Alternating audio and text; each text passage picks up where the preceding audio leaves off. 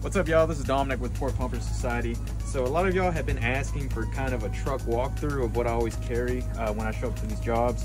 So start off with this toolbox over here on the driver's side. I got a hammer and chisel, some channel locks, a socket set just in case. You never know what'll happen out there. Got the hoses, they got hose caps. We got a soil probe. We got, this is what I use to pick the lids up. Pretty nifty. And I got my sewer hook as well. Shovels, rake, on the passenger side of the hose tray, we got my stinger, my whip hose, the crust buster. I've got one of these in case I have to pump out an RV. And then inside of this toolbox, got a little hand washing station.